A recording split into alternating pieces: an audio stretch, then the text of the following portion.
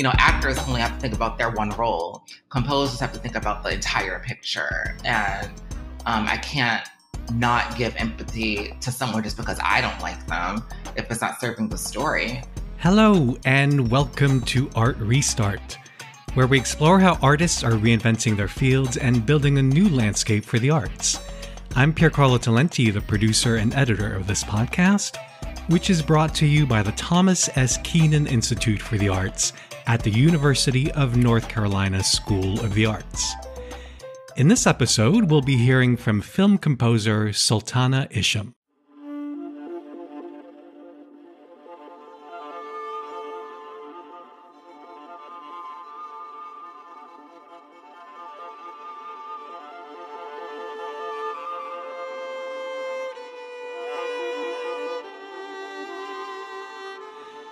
Sultana grew up playing the violin and continued studying it through college at Syracuse University.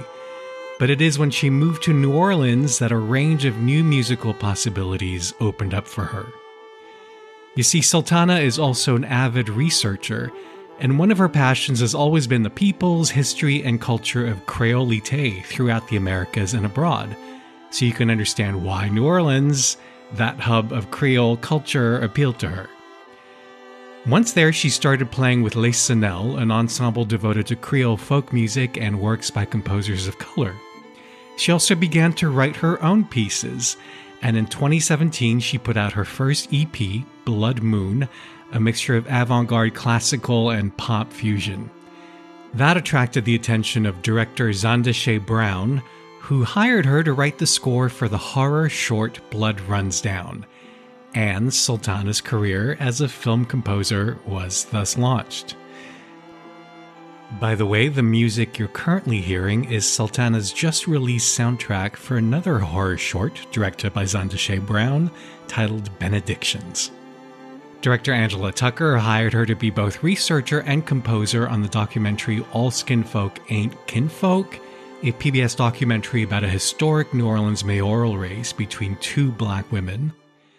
Among Sultana's other credits are The Neutral Ground, which also aired on PBS and received an Emmy nomination for Best Historical Documentary, and the PBS series Making Black America, narrated by Dr. Henry Louis Gates Jr.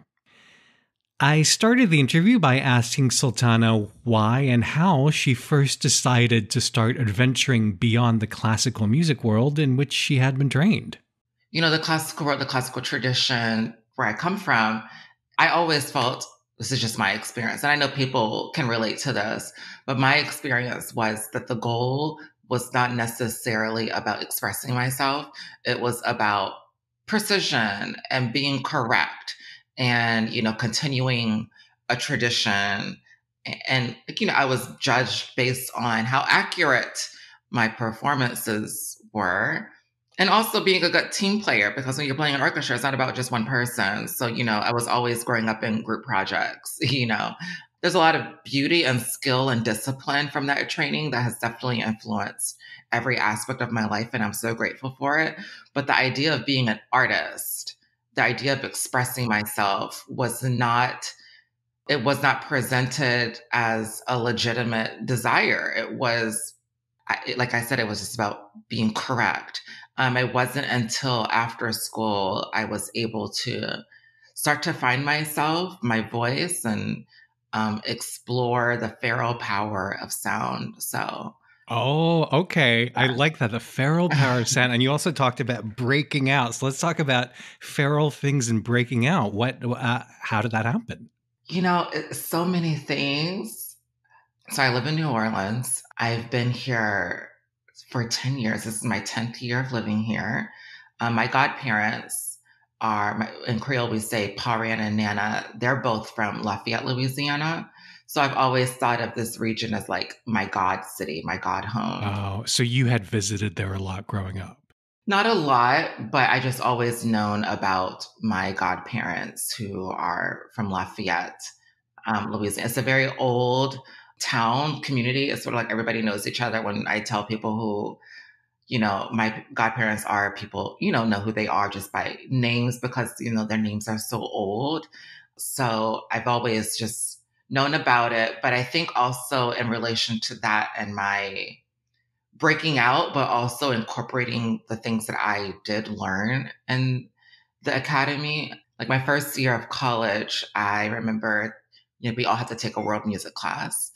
And um, in that class was my first time seeing, like in an academic setting, not like just ever, but in an academic setting was my first time ever seeing um, the topic of Creole folk tunes come up, the topic of, you know, works composed by um, Black people or enslaved people or folk music, and that being the bones of, you know, Black classical composers that have come after them. That was my first time being exposed to that. It was my first time also seeing something that resembled me from there, from 18 in that moment, I started on my own to just like learn more about um, the Creole diaspora, Creolite, um, the linguistic dexterity and the cultural plasticity of this region. What what was it specifically about that music and that Creolite that really appealed to you? It just felt really familiar to me, honestly. It started as just like a earnest like, oh, um, there's something that sounds familiar to me. I, I wasn't sure. I was like, did I hear this before? And I'm like, like it just felt familiar. I couldn't put my finger on it. And at that time, I like at 18, I really didn't have anyone to talk to about this. Um, so it was something that was just always very private for me. And I didn't really feel that the people around me were curious about it. So it didn't really make a great environment for conversation and dialogue to, you know, prosper. Um, but until I came to New Orleans, that's when I was able to form community with people. And through that, it just exposed more pieces, more music, more stories, more migration patterns, more connections to other locations. Like all of those things was being revealed to me. What did you develop your scholarship practice? Clearly, you you dived headfirst into deep research. Yes. Is that something you had to train yourself in? You mentioned you had a mentor. I have a few mentors. Um, okay. I have a few. It takes a village, right? So, yeah. hmm, well, you know, in school, like again, like we have, you know, we are, we've been trained to to do that, but it, the focus was on different people, different region. But even from that region, like I'm a huge Ravel fan. I'm a huge, huge fan of his work and his story. But he is someone who is quoted constantly honoring jazz musicians, Black musicians, Black classical musicians. You know, he traveled to New Orleans. He traveled to New York and he actually even gave a lecture at Rice University um, when he was here, and it deeply influenced, you know, the tradition of Black music deeply influenced his later works. Another person, Dvorak, is another major one. He um, is known for, you know, when most of us are practicing Bach pieces. So, you know, um, he was practicing that, and but before that, spirituals, Negro spirituals. So, learning of like a mutual relationship between these genres and these worlds. So for me, it was like I was really interested in that. My education did not teach me that. My education, the academy didn't, they were focusing on something else. So I think because like this is the world I come from and this is the music that I love and this is the tradition that I grew up in, I just knew that there were parts of me that was not being included in their retelling of this history. So it was honestly just me looking for myself. When did you first start describing yourself as an ethnomusicologist? I I started call, well, ethnomusicologists started calling me that. So I was like, That's okay, a badge well, of honor. That's cool. exactly. I, I, you know, like they started calling me that and including my work in their classes and things like that. So um, it gave me like a sense of permission and also just like, oh, I know what I'm doing, you know, and speaking at different conferences and things like that. Because I was also, a lot of my work is interrogating the social conditions that were present at the time of these compositions, and also sonic migration patterns, and just looking at um, even their construction of their idea of what was race or gender and how instruments Um. Antoinette Handy is a major inspiration of mine, another musicologist.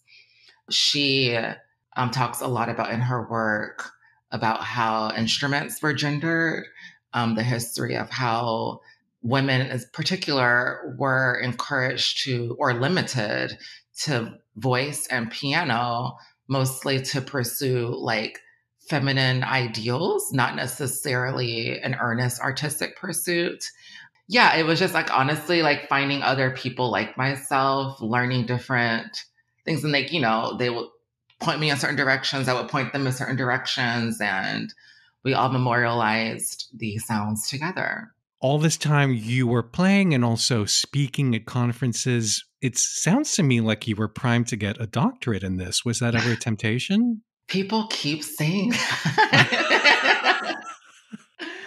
People keep saying that. Um, I mean, I definitely work with a lot of institutions and I have a few things in the works that I can we can talk about in a bit. But I think in the beginning I was just like really because Okay, so in New Orleans, my how my performance practice sort of started. Um, New Orleans is very like jazz centered, you know. Mm-hmm, so sure. woodwind, brass, like you know, they dominate. Being a string player is like kind of exotic to them, even though historically speaking, the first opera houses in the Western Hemisphere were in Louisiana, we're in New Orleans. Integrated orchestras. There's a very beautiful, extensive history of multiracial orchestras, Black orchestras, um, opera houses singing in multiple languages. The first ones were in New Orleans. So they have a very beautiful, long classical history that people don't really talk about that much. But anyway, um, to get work, you know, at as a 20 at the time 22 year old that had just moved here trying to get work i had to incorporate other genres at the time i just wanted to like do my work and just explore music. So I started playing a different artist residencies and hotels and things like that. At that time, people were just so centered in being entertained. Um, so I was like, you know, incorporating things that I liked. I'm a huge Grace Jones fan. So in the beginning of my like performance career in New Orleans, I used to do Grace Jones tributes on the violin. And I would also play my own stuff and a little bit of Bach and things like that. But it was I was trying to figure myself out. I was trying to figure out what did I want to say you know, the performance etiquette and uh, like a jazz or pop world is so different from the classical world, you know? Like, and the pop or jazz, like they want more conversation, they want more engagement. You know, I grew up never talking, rarely talking to the audience. You know, it was very cut and dry. You stand at this point, they applaud, you bow, you know, you read your music, you play. There was no like expectation for me to talk to my audience. So I, you know, it was like kind of hard for me to do that in the beginning, but I learned how to do it. But at the same time, I was like, this wasn't sustainable for me at the time. And I just wanted to focus on more heart centered work. I wanted to focus on work that was bigger than me as an individual. I wanted to support and uplift stories that were bigger than me as an individual that could be a catalyst for, you know, change and memory collections and things like that. So I just started diving more into my scholarship and and um, I attracted different opportunities. Tell me about your first film score. My first film score was a Southern Gothic horror film um, called horror. That's hard. Hard. There's no other genre that relies on a score as heavily as horror. Exactly. Exactly. it's my favorite genre. So I, I love it too. I love it too. so wait. So your first your first score was for a horror film. What was it? It was called Blood Runs Down, directed by Zandashé Brown. You know, it's very interesting. It was my first experience of seeing how supporting this, like a story like this, can be like a mirror to my own life. So, like, the film was exploring like mental illness and generational trauma between mother and daughter. And the mother in the film was schizophrenic, and um, the director, her mom, is schizophrenic and my grandmother was schizophrenic. So it brought up a lot for me as I was making it. And then I, when I finished the score, my grandmother died. And the film has like a similar ending. So it was like really gnarly for me to like be in that kind of experience. But it taught me so much about the power of empathy, and it really has influenced every other film I've done since. Could you describe a documentary project that you scored and how you went about doing the research and and as you said serving the story? Yeah, okay, so a really good one. It kind of brings all of these things together, even horror. So my first feature film is um, The Neutral Ground, directed by C.J. Hunt. Um, and it is about the removal of Confederate monuments. And it premiered at Tribeca, and we got an Emmy nomination. It was like a really good thing for us all. There's this one scene in the film where it's about the United Daughters of the Confederate Confederacy and how these women, these widows who lost their husbands and sons in the Civil War, how they erected these monuments to memorialize their loved ones who were killed. So I had to write a choral piece. That was the objective. The director wanted me to write a choral piece for little girls. And um, I had never written a choral piece at the time and he wanted the text to be in Latin specifically. So this is where like scholarship and horror for me was able to come together because I told him for me, I saw that scene in particular as a horror scene. I think of white supremacy as horror. I don't think of it as like I, that's how I think of it. That's how I see it, at least, especially as an, in an artistic way. Um, I definitely see it that way. I think it's effective to have it in that way. And also, it's kind of, correct me if I'm wrong, it's kind of a horror trope in scoring. The sound of a girl singing can be terrifying. Yes, sometimes. it can. In, it in a be, certain context, right? Definitely. It's used that way. Yeah. Definitely. And it, it was for the scene. So, where did you find your Latin text? So, the text came from a motto that the Confederacy used to chant and their motto was um, Deo Vindice, which means like God will vindicate us, something like that. And I added the word alibi because I saw that they were using their religion as an alibi to for their violence, um, like using that as a shield to like keep doing what they're doing, causing all this mess and war and dehumanization, but in the name of their God, which is like horrible thing to do.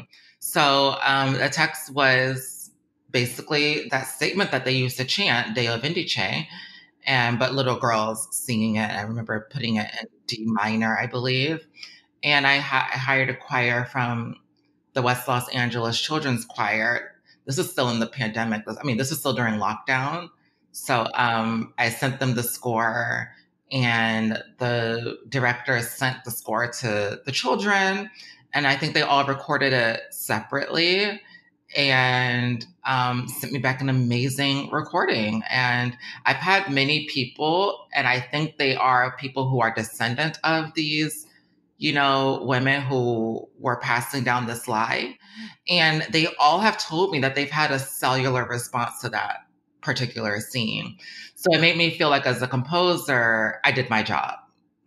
and it was also like a lesson in building empathy for a group of people that would not have empathy for me. Because you know like we have to hold all these different stories as a composer. You know actors only have to think about their one role. Composers have to think about the entire picture. And um, i can't not give empathy to someone just because i don't like them if it's not serving the story.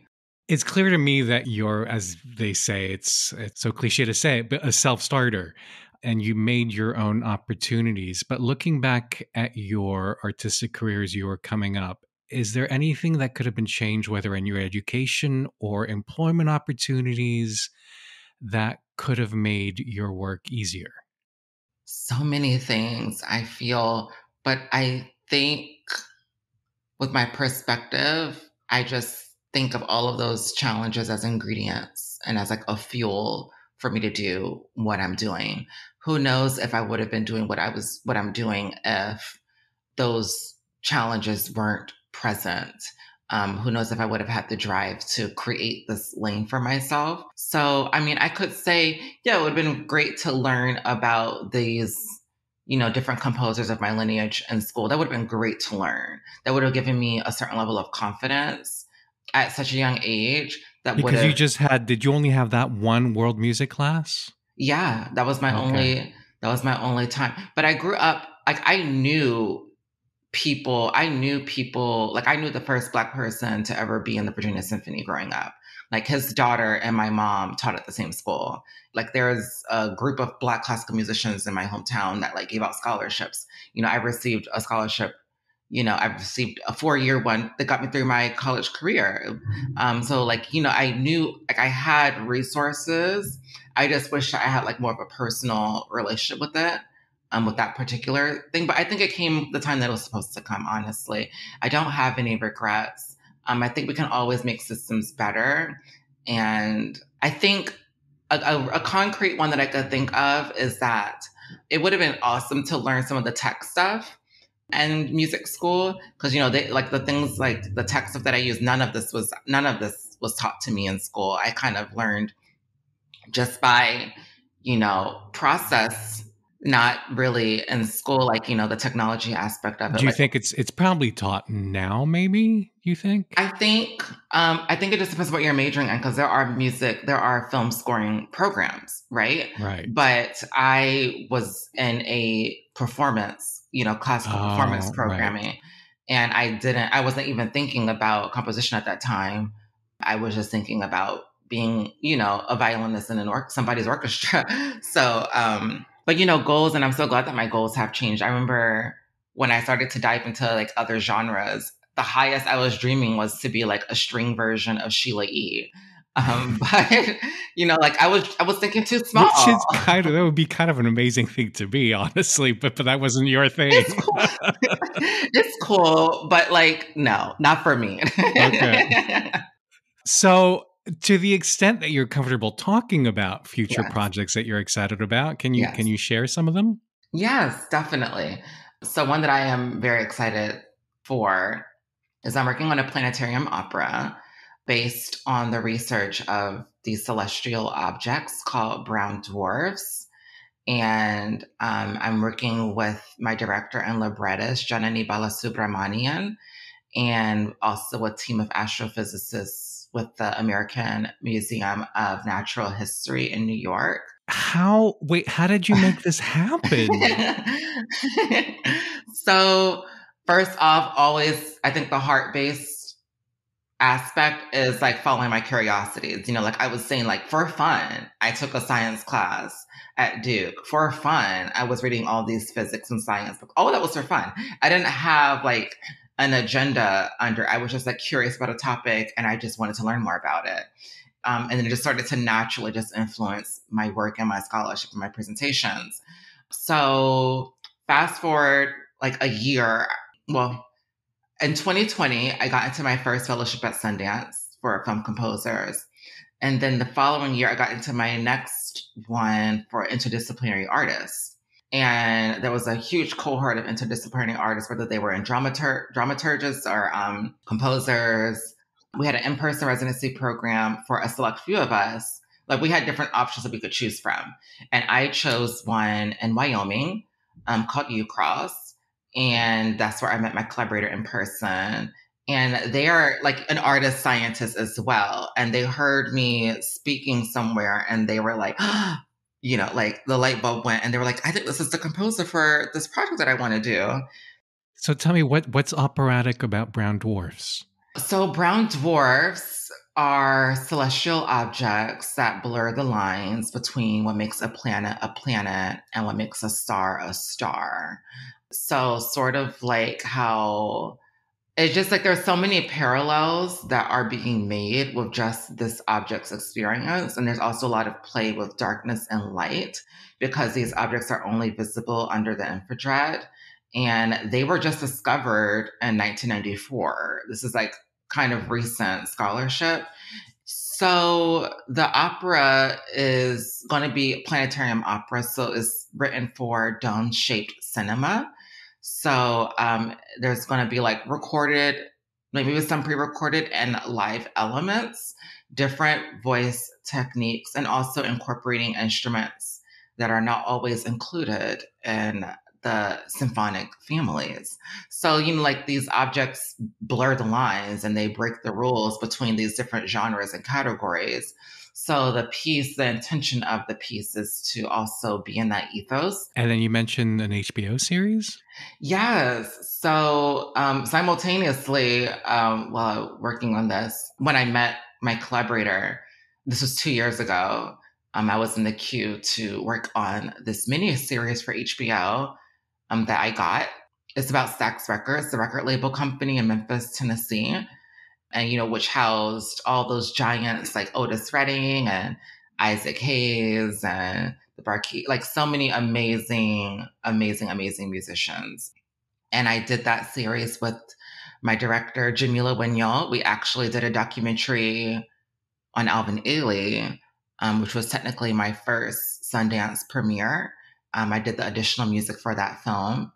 And so we did, we worked together again for this where I'm like, I'm the main composer, I'm the only composer for Stax um, Soulville, USA. And we just got, it was just announced that we got into South by Southwest. So nice. we'll be premiering at South by Southwest on March 10th. And it will be broadcasting on HBO. Um, I think they say in May, end of May. And it's a four part docu series.